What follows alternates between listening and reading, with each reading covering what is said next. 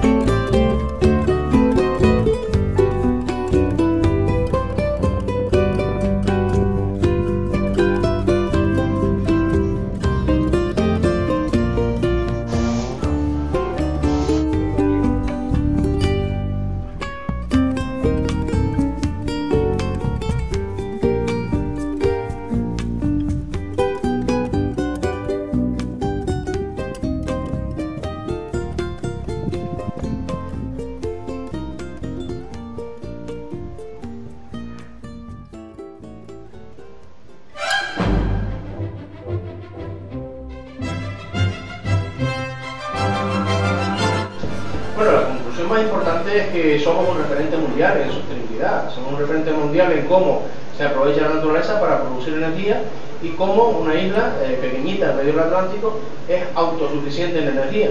Por lo tanto, eh, esto yo creo que es por lo que tenemos que quedarnos todos los herreños.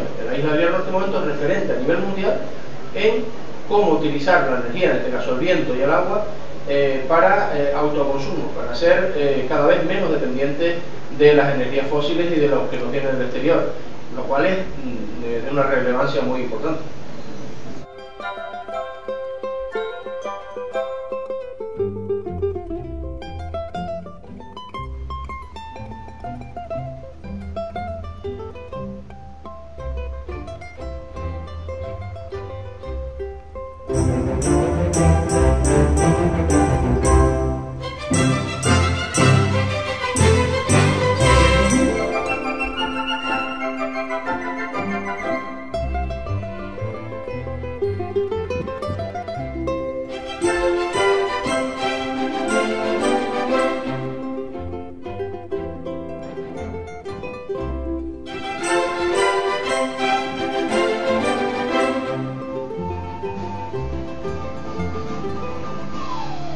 Además del principal proyecto del Cabildo del Hierro, Gorona del Viento, con el que se pretende abastecer con fuentes renovables la demanda energética de la isla.